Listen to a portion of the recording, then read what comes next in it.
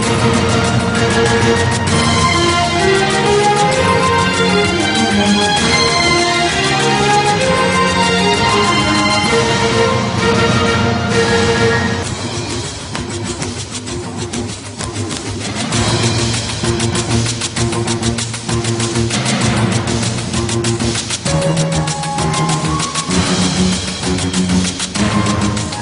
దలేటోర్కి ముందు చంద్రబాబు కీలక సమావేశాలు నిర్వహిస్తున్నారు. దానికి సంబంధించి పూర్తి సమాచారం కరెస్పాండెంట్ పిఎంఆర్ అని తెలుసుకుందాం. పిఎంఆర్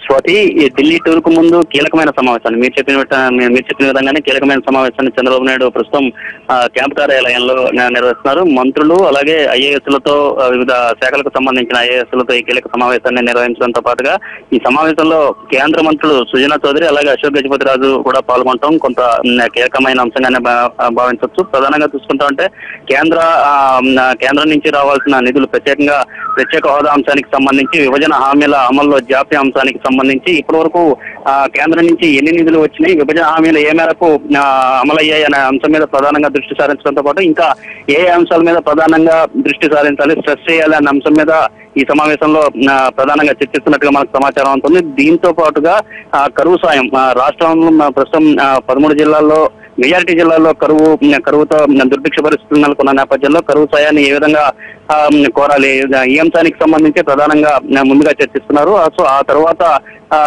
ఈ ప్రత్యేక హోదా అంశానికి సంబంధించి కానీ విభజన హామీలకు అంశానికి సంబంధించి కానీ ఈ సమావేశంలో చర్చిస్తున్నారు. దాంతో పాటుగా నీట్ సంబంధించి ఒక ఏడాది పాటు గడువు ఇవ్వాల్సిందిగా వెసులుబాటు కల్పించాల్సిందిగా ప్రధాన దృష్టికి తీసుకెళ్ళాలని చెప్పి ఇప్పటికే చంద్రబాబు నాయుడు నిర్ణయించుకున్నారు. ఈ అంశాలన్నింటి మీద కూడా చర్చిస్తున్నారు.